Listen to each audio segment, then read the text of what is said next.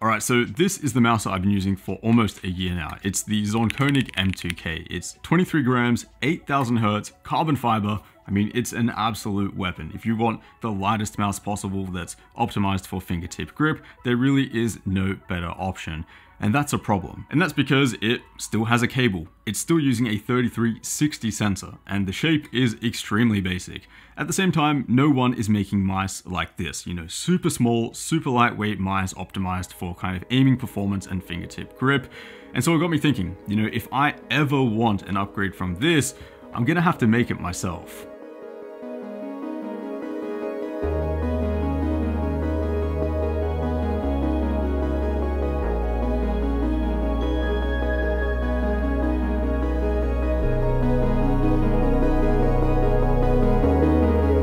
So to make this project a little easier on myself and because I have no idea how to write the firmware for a mouse, we're going to start with an existing base and PCB. And I can think of nothing better than the Viper V2 Pro. Razer's wireless tech is currently the best in the market. You've got features like motion sync, an up-to-date sensor, optical switches, and a stable 4000 Hz polling rate. Apart from that though, I've never been a huge fan of the Viper Ultimate or V2 Pro. The shape feels too big for fingertip grip and also too flat for something like claw grip or palm grip. The button feel is also not the best and the coding to me has always felt a little bit slippery, but let's start tearing this thing down so we can get to the good stuff. Peeling off the three pads at the bottom, we can see the four screws that hold the bottom shell to the top shell, and Razer have tried to be a little bit fancy here using Torx T6 screws, probably to discourage people from doing exactly this. The top shell comes off easily enough though, and that reveals all of the internals. Luckily, we can see the PCB is relatively small, only taking up about half of the mouse, and also here that we can see everything is on a single board, not like Logitech Superlight, for example, which has the main switches on a separate PCB. But yeah, the board is held in by only two screws, and I mean, again, just take a look at how small this PCB is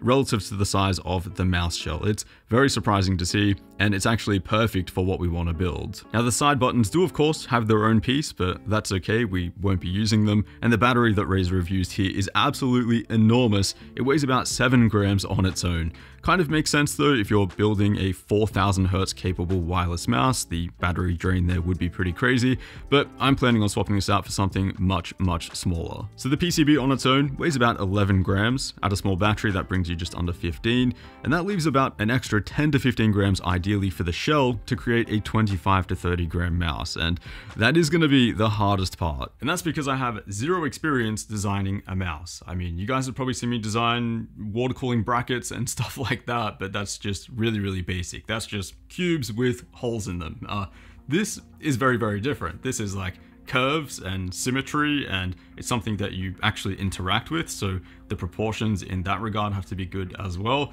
So I don't even really know where to begin but I guess step one we can take the PCB and sketch this out, 3D model this, and at least then we'll know what dimensions we're working with, and we can start to build a shell around this. So booting up Fusion 360 and measuring every tiny part of the Viper's PCB, we end up with something that looks like this. I also modeled out the switches, where the holes were for the screws, and finally the position of the sensor. Then just a few more details like where the USB port is and where the battery connector sits, and we have a pretty good looking model to start with. I almost just wanted to continue sitting here modeling it out because it was honestly pretty fun. Also partly due to procrastination, I knew the next part would be really hard. Modeling something that's sitting right in front of you is not that difficult, but creating a model from just barely an idea in your head is so much harder. So I started with the main triggers, pretty basic shapes here, but one thing I knew I wanted for these was a really low height. I've tested a bunch of mice and by far the ones with the best feeling triggers always had nice low buttons. Think MZ1 or XM1 for example. Then I made the standoffs for the screws, the brace for the sensor, and then finally the contact points for the thumb, ring finger, and pinky. I knew I wanted the contact points to be really no bigger than they needed to be. I knew what grip I'd be using for this mouse, so there's no point just adding unnecessary plastic. I also wanted a slight flare at the rear for the thumb and pinky for a little bit of extra support, but yeah, this is basically the first draft. I've actually left the main triggers off for this first model because I hadn't worked out how I was going to attach them yet,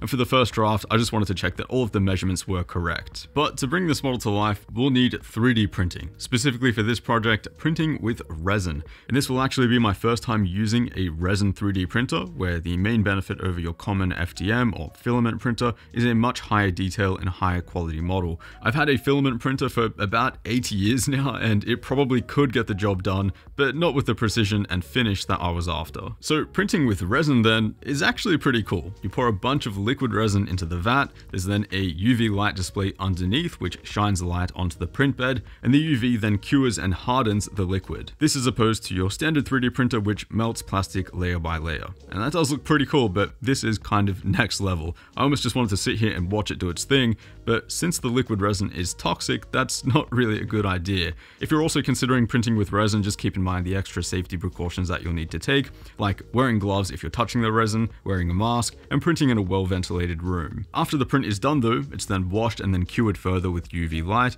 and then we have our finished print. And I've got to say, the level of quality is exactly what I was hoping for. I mean, looking at parts of this model, you'd almost think it came out of a mold. So pretty happy with the quality here, but as I expected, some of my initial measurements were a little bit off, enough to make the PCB not really fit properly, and I still had to work out what to do with those main triggers. I came up with this design which looked okay, but the triggers realistically are just too narrow. And the reason for that is to avoid hitting the massive rotary encoder for the scroll wheel, which just plainly gets in the way. So to move forward, let's remove it. I'm mainly playing Overwatch 2 at the moment, which doesn't really have a use for a scroll wheel, and I hadn't actually planned on having one in the final design anyway. Also, check this out. The optical switches aren't actually soldered in, they're just clipped in with plastic. The only electronics or optical portion is on the PCB, but as for the switch itself, it only has this plastic part here which closes and cuts the light. So yeah, pretty interesting to see. You can literally just pull them out super easily with your hands. From there, it's your usual desoldering method, heating up the joints with a soldering iron, then vacuuming off the metal with a hand pump.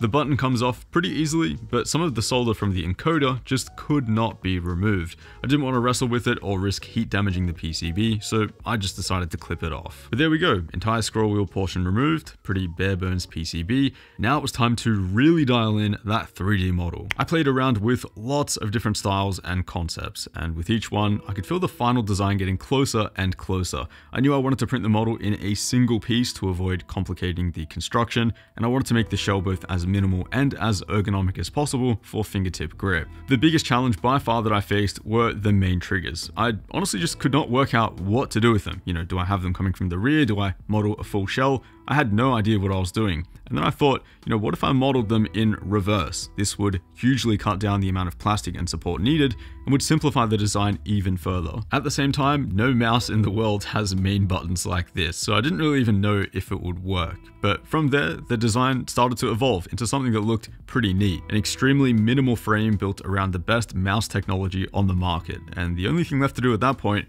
was to print it and see if it works.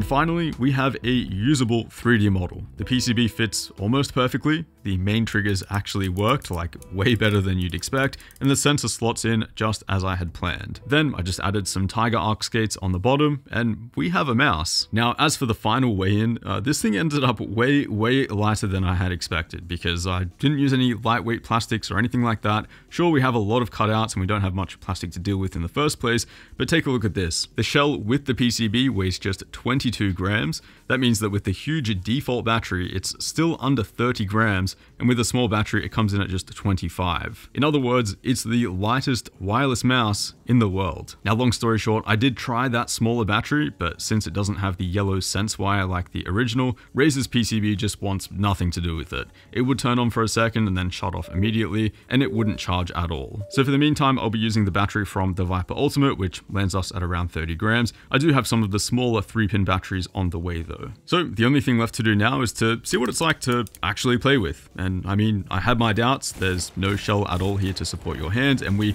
modeled and 3D printed this thing in about a week. In other words, it's not even close to what I would consider a final design, there's a lot more fine tuning here to do for sure, but I've got to say, it's just as insane as I had hoped. The design goal here was to make an upgrade from the M2K, something with the freedom of wireless and with a better shape, and it's exactly that. The feeling that I always loved about the M2K was that it didn't feel like you were gripping onto anything since it's so light and small. It kind of just sits between your fingertips.